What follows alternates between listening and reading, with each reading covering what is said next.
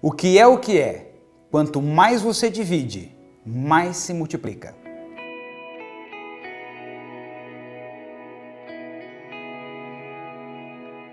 E aí, já matou a charada? Se você respondeu, estamos juntos, na mesma página. O conhecimento.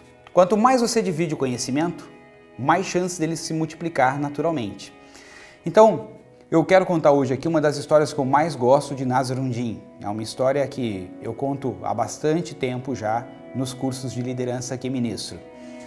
Certa vez, em uma pequena cidade, um povoado lá na Turquia, jovens se reuniram para decidir como seria o desenvolvimento econômico daquele povoado. Eu quero que você viaje comigo no tempo dois mil anos atrás. Dois mil anos atrás, imagine você como as pessoas se vestiam, né? que tipo de tecnologia elas tinham, como é que elas se comunicavam, como é que elas se relacionavam, principalmente se você voltar dois mil anos atrás, naquela época lá naquela região da Turquia. Então, em uma sala, jovens estavam ali discutindo sobre como tornar aquele povoado onde eles moravam né, mais economicamente mais potente, mais forte. E aí alguém deu uma ideia. Que tal se nós contratássemos um jovem com uma incrível habilidade de se comunicar? Essa pessoa poderia viajar outras cidades falando bem do nosso povo, da nossa terra, da nossa comida, da nossa música. As pessoas ficariam curiosas e assim viriam até aqui. E isso aumentaria o fluxo econômico do nosso povoado. Bom, é verdade, a ideia é fantástica. Já começaram a pensar no nome de qual jovem representaria melhor a cidade. E alguém então ergueu o braço, todos fizeram silêncio e disse: E se dessemos para essa pessoa uma carruagem para que ela pudesse levar também produtos aqui da nossa cidade? Poderia levar obras de arte, alguns doces, pães, assim as pessoas poderiam tocar, provar e se quisessem comprar, teriam que vir até aqui na nossa cidade. Começaram a discutir então sobre que tipo de produtos eles colocariam na carruagem. E a coisa estava realmente esquentando dentro daquela sala, até que um ancião, um senhor com uma barba branca, grande, ergueu o braço, todos silenciaram e ele fez uma pergunta. Ele disse: Olha, eu estou encantado com a iniciativa de vocês, mas se isso tudo der certo e muitas pessoas resolverem vir para o nosso povoado, estaria o nosso povo preparado para aproveitar as oportunidades? Fez-se um silêncio tremendo e as pessoas ficaram ali refletindo até que alguém quebrou o silêncio fazendo uma pergunta. Mas como preparar toda a população? E começaram então uma discussão, de novo um brainstorm, até que alguém disse: e se chamássemos um mestre e ele viesse uma vez por semana para ensinar as pessoas da nossa cidade? Assim todos poderiam aprender ao mesmo tempo, seria incrível. Sim, mas quem? Naquela época, havia um mestre naquela região bastante famoso, mas ele tinha um método diferente de ensino. Mas como ele era muito famoso, alguém disse: poderíamos chamar Nasrundin. Sim, mas ele mora com poucos discípulos, ele é meio estranho, será que ele toparia falar para toda a cidade de uma só vez? E alguém disse: só vamos saber se perguntarmos a ele. Então saíram ali daquela casa onde estavam e algumas pessoas foram até onde morava Nasruddin com seus discípulos, explicaram para ele o projeto. Nasruddin pensou por alguns segundos e disse: Ok, contem comigo. Que dia? Aos domingos. Que horas? Às 9 horas da manhã. Onde? Na Praça Central. Vamos construir um palanque para você falar para todos de uma só vez. Nasruddin disse: Digam a todos que eu vou.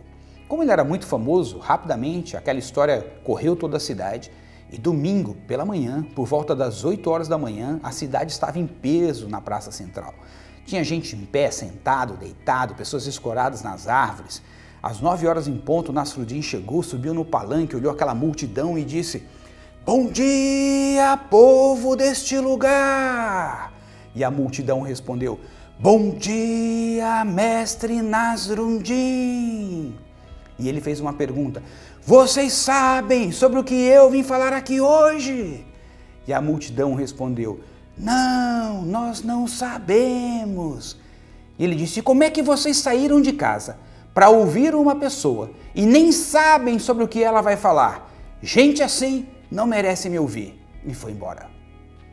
Bom, naquela época não tinha WhatsApp, nem Face, nem Instagram, mas tinha um outro meio de comunicação que de tão eficaz dura até hoje, a fofoca.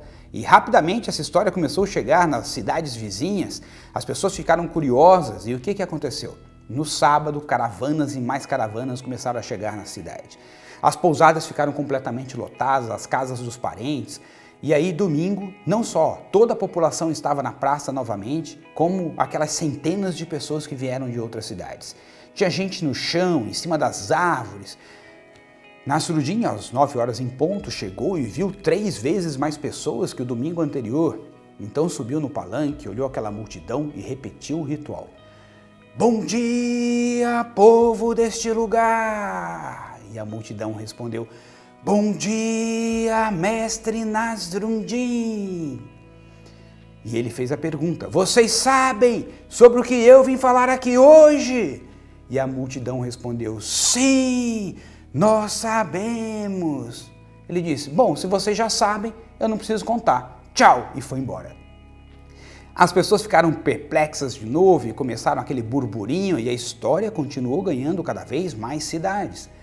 Quinta-feira da outra semana, caravanas e mais caravanas começaram a chegar. Pousadas lotadas, as casas dos parentes, pessoas acampando nos mais diversos lugares próximos àquela cidade. Domingo, dez vezes mais pessoas que o primeiro dia. Às nove horas em ponto, chega na Surdim, sobe no palanque e olha aquela multidão. Gente no chão, em cima das árvores, dos telhados das casas, não havia espaço para mais nada. Aquele silêncio mortal. Nove horas em ponto, Nasruddin repete o ritual. Bom dia, povo deste lugar! E a multidão responde: Bom dia, mestre Nasruddin! E ele pergunta: Vocês sabem sobre o que eu vim falar aqui hoje? E a multidão responde: Metade sabe, a outra metade não sabe. Ele disse: Então a metade que sabe, conta para quem não sabe. Tchau! E foi embora. Durante a semana, as pessoas encontraram Nasruddin no meio da floresta, né, colhendo algumas frutas e falaram: Nasruddin, se eu fosse você, não iria até a cidade domingo que vem. Ele disse: Mas por quê? Olha, estão combinando de lhe pegar e darem uma surra. Ele falou: Mas o que, que eu fiz? Você fez todo mundo de bobo falou, mas eu só fiz o que vocês pediram. Como assim, Nasruddin? Vocês não queriam ficar famosos, que as pessoas das outras cidades viessem até a cidade de vocês? Elas não vieram. Bom, elas vieram, mas nós queríamos que você ensinasse ao povo. Ele falou, mas eu ensinei o principal. Como assim, Nasruddin? Ele disse, bom, veja, se você não sabe o que está procurando, como saberá que encontrou? Segundo, se você já acha que sabe, como aprenderá coisas novas? E terceiro, só tem um jeito de uma pessoa, uma cidade, crescer de forma sustentável. São aqueles que sabem contando para aqueles que não sabem. Não se sabe se a história é verídica ou não, né? mas o fato é que nos faz pensar a respeito da importância de compartilharmos conhecimentos, informações, estratégias, ideias e o quanto isso pode se multiplicar de uma forma positiva. Eu sei que talvez você possa pensar, é Gilberto, mas a gente tem que tomar cuidado com que tipo de conhecimento a gente compartilha. Eu concordo contigo. Eu acho que a gente precisa ser, nós precisamos sermos mais responsáveis e compartilharmos conhecimentos que de fato possam agregar né, com a vida de outras pessoas. Existem muitas informações e conhecimentos esparramados pelo mundo e e naturalmente as pessoas se sentem motivadas a compartilhar mais aquilo que faz mais sentido para elas. Então, na medida que as pessoas vão aumentando o seu nível de consciência, naturalmente elas começam a se identificar com conteúdos mais relevantes e compartilharem esse conteúdo com as pessoas com as quais elas convivem e amam, e isso vai criando uma onda muito positiva. Então, pense aí, que tipo de conhecimento, que tipo de informação seria muito legal se você pudesse compartilhar com mais pessoas? Lembre-se, conhecimento, quanto mais se divide, mais se multiplica. Eu estarei aqui quarta-feira que vem com um novo vídeo, uma nova reflexão. Espero você, tá bom? Grande abraço e até lá. Tchau, tchau.